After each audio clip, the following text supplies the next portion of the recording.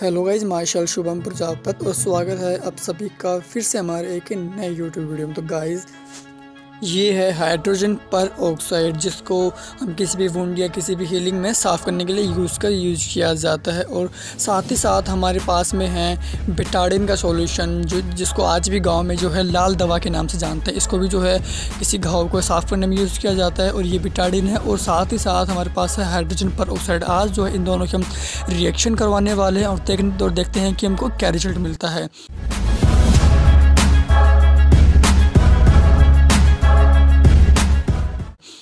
इसके लिए हमें ज़रूरत पड़ेगी एक बीकर की। तो वैसे ये बीकर है, इसके हम बीकर की ज़रूरत पड़ेगी और साथ ही साथ हमको ज़रूरत पड़ेगी थोड़े से पानी की।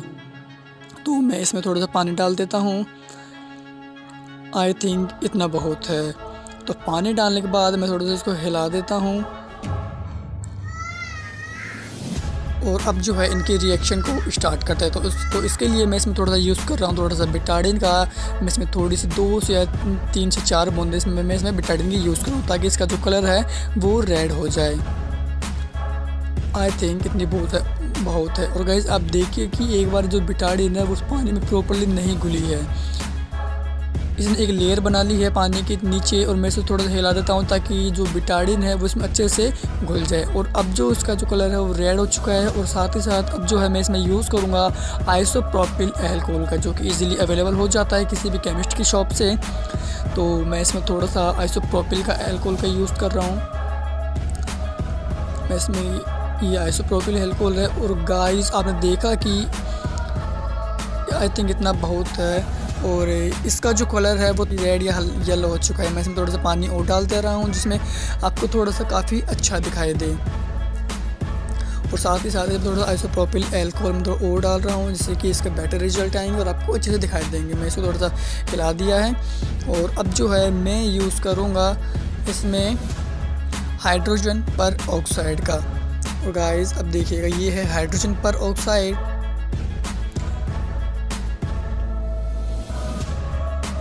अब जो है मैं इसको डाल दूँगा इस सॉल्यूशन के अंदर। तब देखिए क्या मैजिक होता है।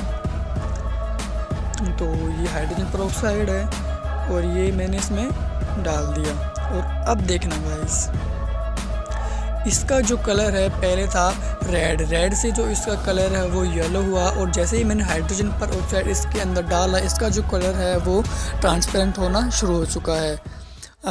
अब मैं इसको थोड़ा सा हिला दे रहा हूँ और तब देखना गाय इसका जो कलर है वो प्रॉपरली ट्रांसपेरेंट हो जाएगा। पहले जो इसका कलर था, मैंने जैसे ही पानी में मैंने बिटाडिन डाला, इसका जो कलर है वो थोड़ा ब्राइट रेड हो चुका था। जैसे ही मैंने फिर इसमें आइसोप्रोपिल एल्कोहल डाला, इसका जो कलर है वो येलो होना शुरू हो गया था। और जैसे ही मैंने इसमें जो है हाइड्रोजन पर डाला, और वैसे ही इसका जो कलर है वो ट्रांसपेरेंट हो चुका है। आप देख सकते हैं इसका जो कलर है वो बिल्कुल ट्रांसपेरेंट है, जैसे कि पहले था, जिस पानी का, ये बिल्कुल ट्रांसपेरेंट हो चुका है। और ना ही इसमें कोई कंटेंट है, ना ही कोई रेड है तो गाइस देख लिए, देख लीजिए इसका जो कलर है वो पूरा ट्रांसपेरेंट हो चुका है, जिस हम इसमें आर पार देख सकते हैं, बिल्कुल पानी तरह हो चुका है। तो ये तो ये हो तो ये होता है जब किसी भी बिटाडिन या, या फिर हाइड्रोजन पर ऑक्साइड को हम इनकी रिएक्शन करवाते हैं। तो आई होप आपको ये जो वीडियो है पसंद आई होगी और आई और आज के लिए इतना ही। चलो फिर मिलते हैं इसके नेक्स्ट वीडियो में किसी नए टॉपिक के साथ। तब तक के लिए नमस्कार।